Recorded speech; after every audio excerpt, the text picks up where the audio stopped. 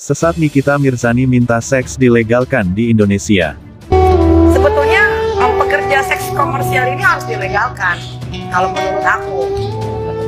Ya memang mereka adalah pemasok eh, apa yang bisa memberikan duit kepada negara lebih banyak. Sebenarnya tapi kan rata-rata kan orang di Indonesia ini kan masih pada pada munafik nih. Azaniyatu pezina laki-laki Pezina perempuan. Wazani Fajlidu kulla wahidin minhuma mi'ata jaldah. Cambuklah dia seratus kali. Antum beli pecut kuda Pinjam sama Pak Al-Makmur Cambuk kuda Pergi besok ke danau buatan. Di bawah tu ada pesantren Pinjam cambuk kuda Minta mereka cambuk seratus kali. Insya Allah hilang penyakit zina Kalau antum malu sama dia Bawakan ke saya Biar saya cambuk antum seratus kali. Seratus kali. Ini terapi sudah diterapkan di Moskow, Rusia. Ada dokter perempuan Orang-orang yang hobi berzina Dicambuknya sehat. Hilang. Wah, ada saya baca tulisannya. Nah ini kalau di depan orang banyak tak bisa. Nanti kena human right hak azazi manusia. Tapi kalau mau dicambuk 100 kali hilang. Kalau yang sudah menikah ini menikah na'udzubillah asyaikhu wasyaikhatu laki-laki perempuan yang sudah menikah idza zanaya kalau tetap menikah berzina warjumuhumal battah rajam sampai mati. Cara langkah-langkah bertobat nasuha dan benar-benar terbebas dari dosa zina berhubungan badan menurut Al-Quran. Sudah menikah? Sudah Pak Ustaz. Gali tanah, masukkan setengah, lempar pakai batu sampai mati. Selesai masalah. Sudah menikah? Belum menikah? Asyaikhu azaniyatu pezina perempuan Wazani pezina laki-laki Fajlidu kulla wahidin minhum mi'ata jaldah Cambuk seratus kali. Dua-dua hukum ini tak bisa dilaksanakan Karena tak ada perangkatnya Tak ada khilafah Islamiyah. Oleh sebab itu bagi yang sudah berzina Menikah maupun belum Anak lajang maupun sudah berumah tangga maka bertaubat nasuha saja. Langkah pertama mamin muslimin yudhini mudamban kalau ada orang yang berdosa summa yatatohar mandi taubat. Mandi taubat gimana Pak Ustad macam mandi wajib mana yang basah duluan Pak Ustad terserahlah mau kaki mau kepala. Kebetulan melompat dia di kolam renang kaki duluan. Salto dia di sungai kepala duluan. Terserah yang mana duluan basah terserah. Setelah mandi taubat, salat sunat taubat dua rakaat, usolli sunat taubat rakaat taala. Setelah itu banyak-banyak beristighfar, banyak-banyak berinfak, banyak-banyak bersedekah. An-nadamu fi qalbi menyesal dalam hati. Al-iqraru bil lisan banyak istighfar di lidah. Al-itmaru ala ya'uda ilahi abadan tak balik untuk selamanya. Minta ampun pada Allah. Namanya buang, nomornya buang, kontak di FB buang. Jangan lagi kontak. Hai. Godain kita dong.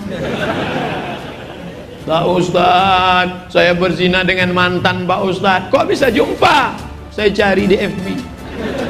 Saya ketik namanya ketemu. Terus say hello, apa kabar anakmu? Foto suamimu mana? Eh, masih gantengan aku ya. Oh, akhirnya kami pun makan siang bersama Pak Ustad. Terus no free lunch. Tak ada makan siang yang gratis.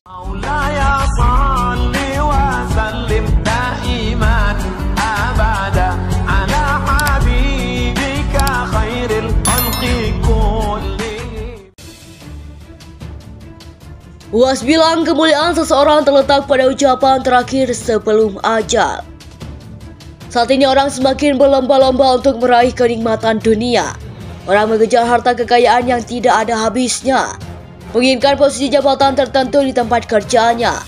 Atau mengejar gelar akademik setinggi-tingginya. Ustaz Abdul Somad UAS memberikan renungan mengenai fakta tersebut dalam postingan Instagramnya. Ustadz Abdul Somad underscore official dia menuliskan soal kekayaan.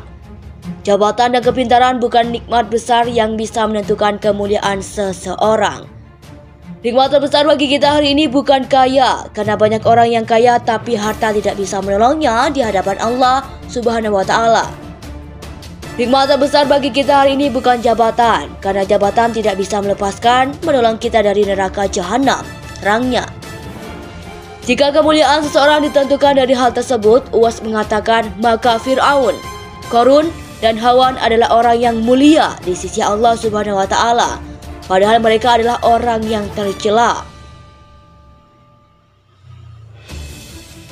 Kalaulah manusia itu mulia karena jabatan, maka Fir'aun jauh lebih mulia. Kalau manusia lebih mulia dari harta, maka Korun sampai saat ini harta yang tertimbun di dalam tanah. Kalau orang yang mulia karena otaknya, maka tidak ada yang lebih cerdas dari Hawan, ujarnya. Melainkan Uas melanjutkan kemuliaan seseorang ditentukan dari ucapan. Kalam terakhirnya ketika ajal menjemputnya. Orang yang mulia kata terakhirnya adalah lafaz La ilaha illallah. Tiada Tuhan selain Allah subhanahu wa ta'ala. Kemuliaan terakhir kepada Allah, Ya Allah, jadikan kalam terakhir kami ketika ajal sampai. Ucap terakhir yang keluar dari mulut Allah, La ilaha illallah, pungkas Uas bilang kemuliaan seseorang terletak pada ucapan terakhir sebelum ajal. Saat ini orang semakin berlomba-lomba untuk meraih kenikmatan dunia.